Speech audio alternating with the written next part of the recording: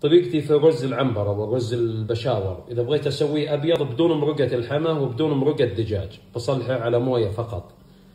آه، أغسله ثلاث غسلات بشويش. أنا هنا استخدمت رز أمير الهند.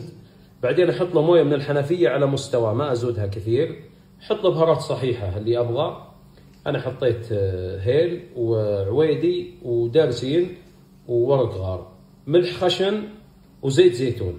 نخليه ينقع فيها. نصف ساعة فقط. شرب معظم موية النقع الآن نحط عليه ماء مغلي ونرفعه واحد سنتي نشد عليه النار على أعلى شيء. وأول ما يبدأ ينشف نحط العلوب ونحط الكشنة. قسمت القدر الآن وخليت النار على أقل شيء. ربع ساعة يكون جاهز. ما شاء الله. بعد ربع ساعة. الحبة